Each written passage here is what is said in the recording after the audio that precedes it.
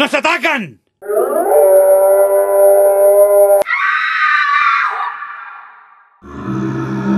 Estoy muy contento de decirles encontré la salvación.